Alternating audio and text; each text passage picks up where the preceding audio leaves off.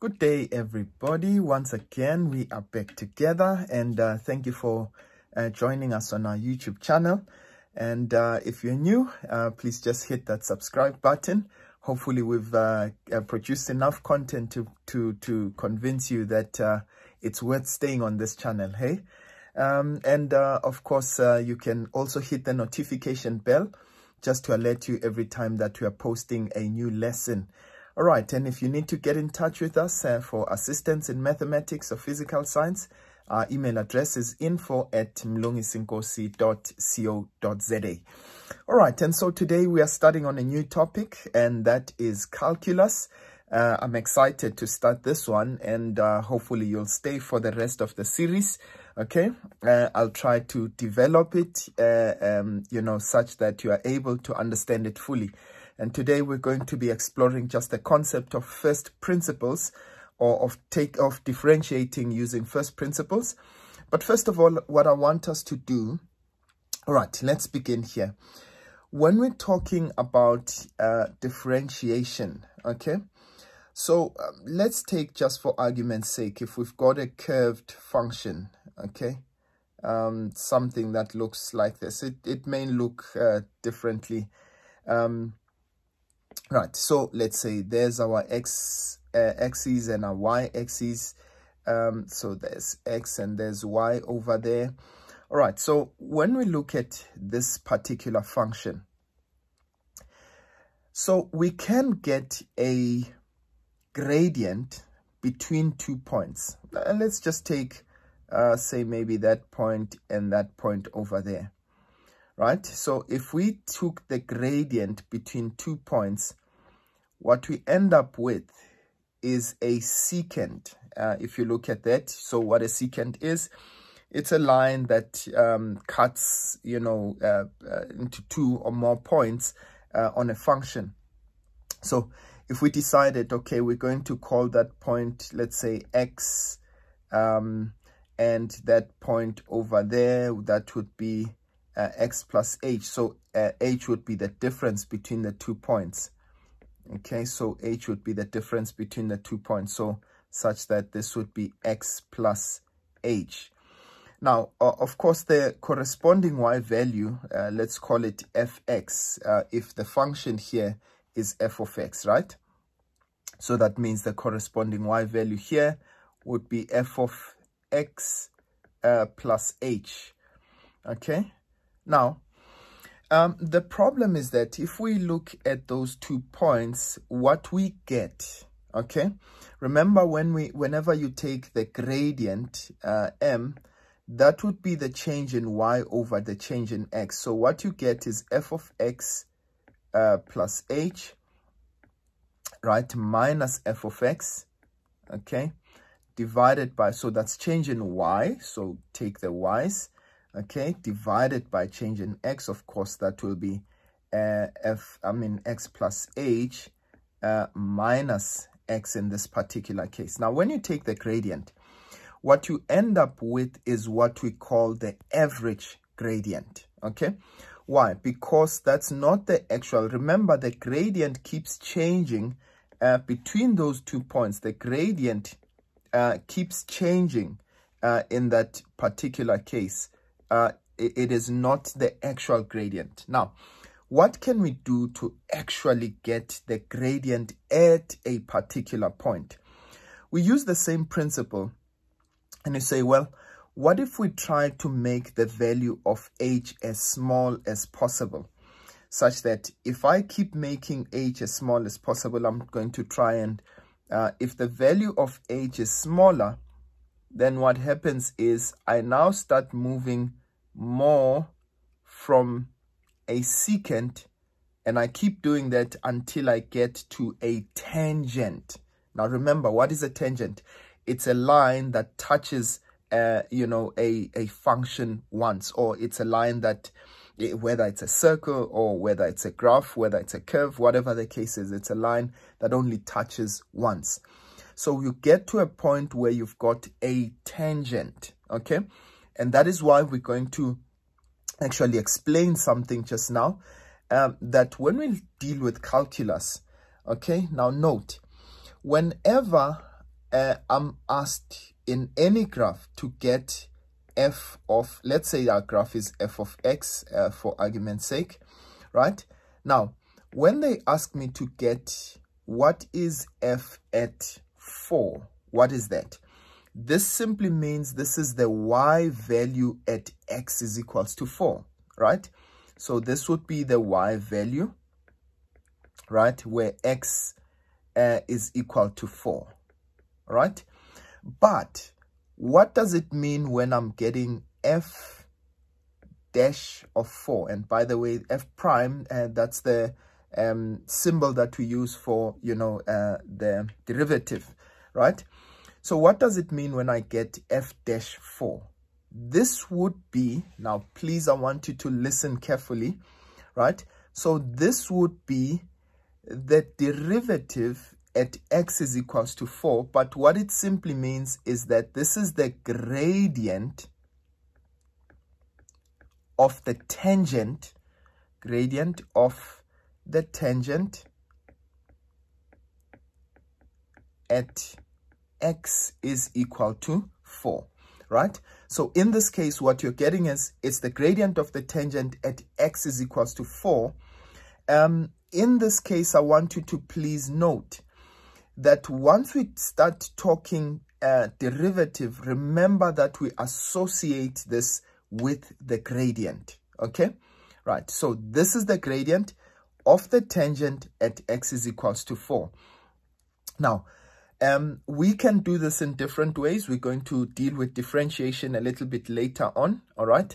But what I would like for us to do is explore uh, what we're talking about there uh, when we're talking about, uh, you know, um, uh, taking the, uh, the first principles, right? Now, in this case, what we do to get uh, the derivative, remember we said f dash, what it simply means is that you are taking the derivative. So what we simply say is that f dash of a function, right, would be equal to, now first of all, we say it's the limit as h tends to 0. Now, if you remember what we said, we said h tends to 0. It means that we are trying to narrow that value of h to be smaller and smaller up until we move from it being a secant uh, to it being a tangent. Okay, so we say it's the limit as h tends to 0 of f of x plus h minus f of x divided by, in this case, divided by h. And remember, how did we get that h? If you noticed, uh, we would cancel that and we would have uh, h over there, right? Now, um, so we're going to just explore a few examples where we are going to uh, use, in this case, um, uh, first principles in order to find the derivative. Let's get into our first example. All right, so our first example says um, determine f dash x, the derivative, from first principles, and you need to look out for that word from first principles. If they didn't say it, of course, we can do it uh, just the ordinary way, and we'll, we'll discuss that a little later on. Right, so um, they said from first principles, if f of x is 1 minus x squared. Now, Remember, so what we simply do in this case, uh, we're going to remind ourselves, remember f dash x uh, in this case would be equal to the limit, right, as h tends to 0. Now, you do not remove this until you get to the point where you've just uh, clarified everything, but uh, we'll get to that in just a few. Right, so that's going to be x plus h minus f of x okay, divided by h. Now, um, for as long as we are not substituting uh, 0 for that h, uh, we are not removing this expression here. So this is going to be limit as h tends to 0. Okay, what is our f of x plus h? So it means that uh, in your f of x equation, you are going to substitute x plus h everywhere that you see x, right? So this is going to be uh, that's 1 minus, where I see x, I'm going to put x plus h squared. Remember, expression was 1 minus x squared. Minus, what is our f, uh, f of x? Now, please remember to put that in a bracket. So that's 1 minus x squared okay, divided by, uh, in this case, h. Now, we're going to try and simplify everything until we get to a point where, uh, remember, what we're trying to do is uh, we need to finally remove that h in the denominator because once we uh, um, you know, substitute for h is equals to zero, then what it simply means is that uh, the, uh, I mean, our, our, solution becomes undefined, right? So we're trying to get rid, that's what we're trying to ultimately do, get rid of that h in the denominator. So let's simplify. So remember, we don't remove this expression as long as we have not substituted, right? So this is going to be 1 minus.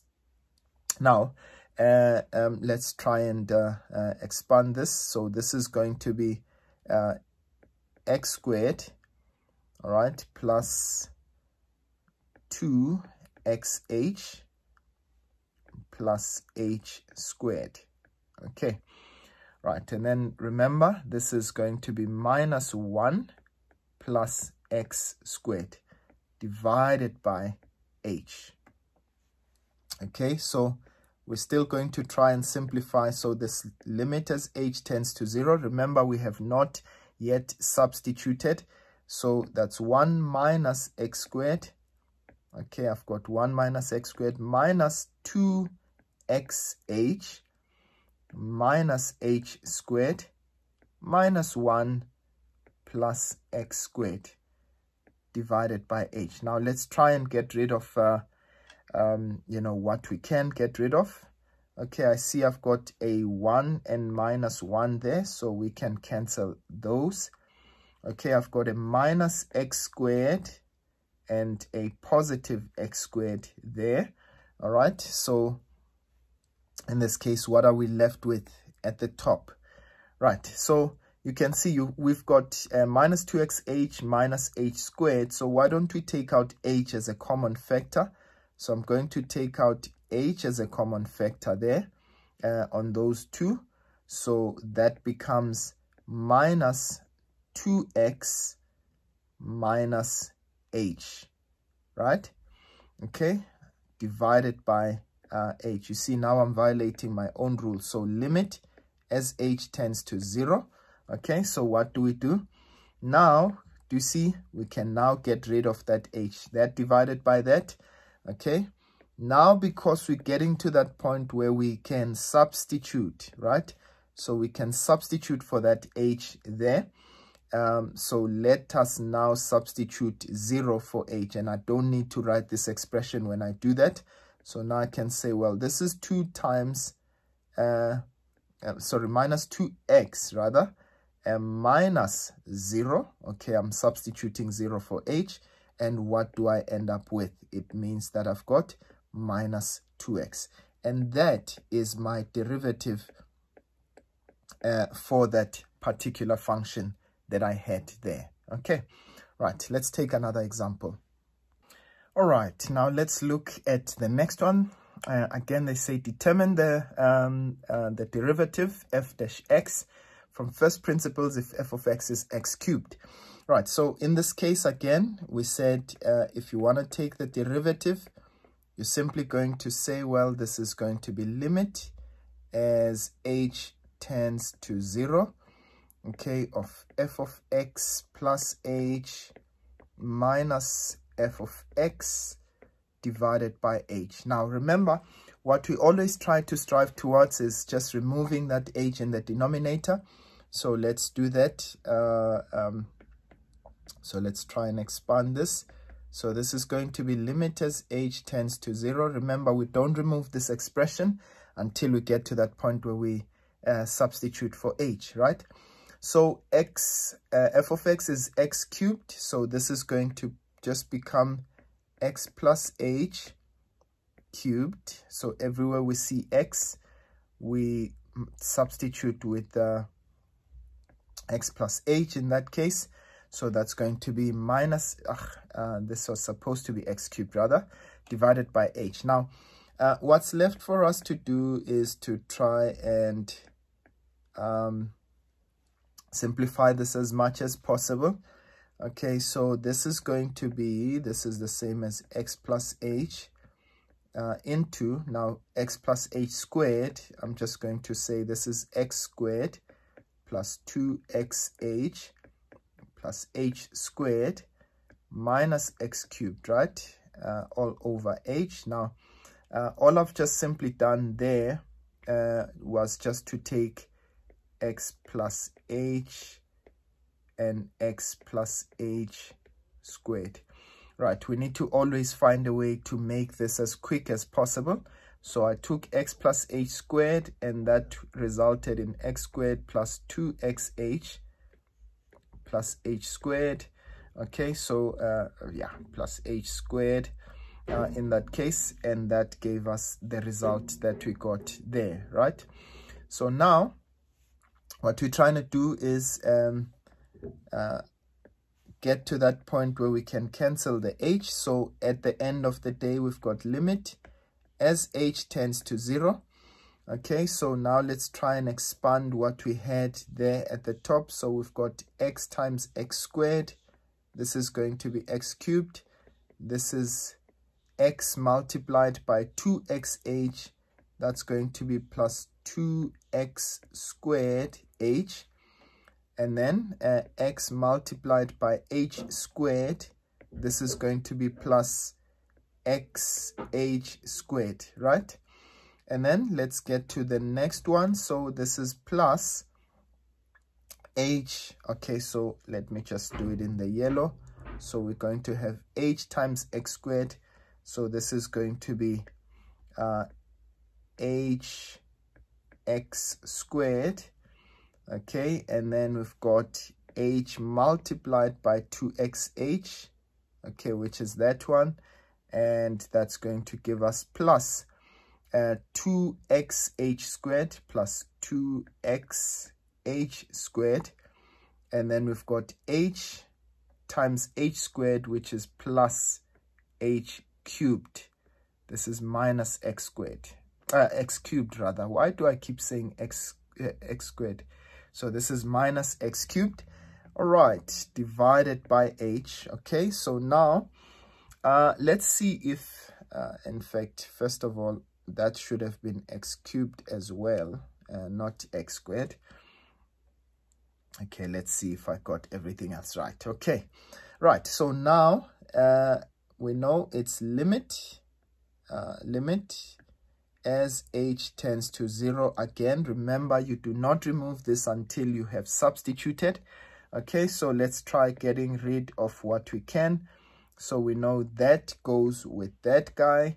Okay and um which other one?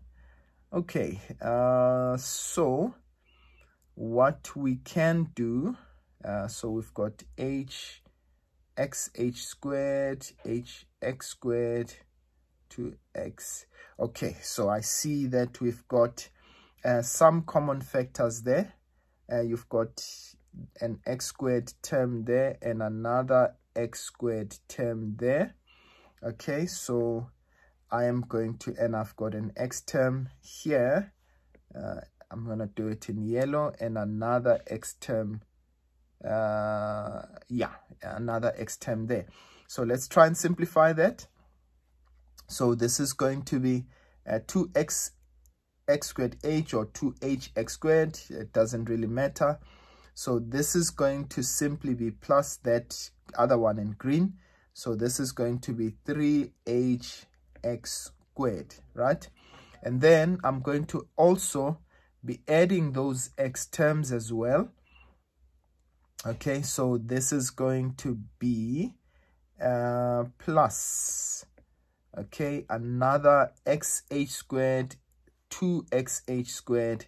So this is going to be plus 3 uh, xh squared or you can say 2h squared x okay?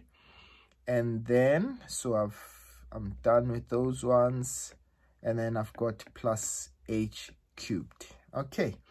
Right and all of that divided by h. And what can we do now we can now um, obviously take out h as a common factor. Okay so if I take out h as a common factor I'm left with 3x squared plus uh, 3h um, yeah 3hx plus h squared. Okay right and in this case divided by h and what can i do? I can actually cancel that h there. Now we can substitute for zero okay? So we can substitute h is zero. So in this case i've got okay 3x squared okay plus 3 times 0 x plus 0 squared. Okay? So in this case what does that give us? We end up with uh, just simply 3x squared. And that is our derivative. All right so uh, perhaps uh, I will just leave it there. Perhaps we'll do some more examples uh, in the near future. Okay? So uh, in fact I just want to leave you with one exercise that you can try on your on your own. Okay so uh, if you can uh, please just get me the derivative from first principles. Now if f of x uh, is given to be okay um, 1 minus 3x squared okay please get me um, in this case from first principles the derivative in that case. All right okay uh, for now i am going to leave it there. Uh, thank you for watching once again. And please don't forget to hit that like button if you like this lesson. And don't forget to share as well and tell as many people as you possibly can about our channel. And um, uh, don't forget to also subscribe okay for those of you who haven't hit that subscribe button. Otherwise from me for now i'll see you guys next time. Sharp sharp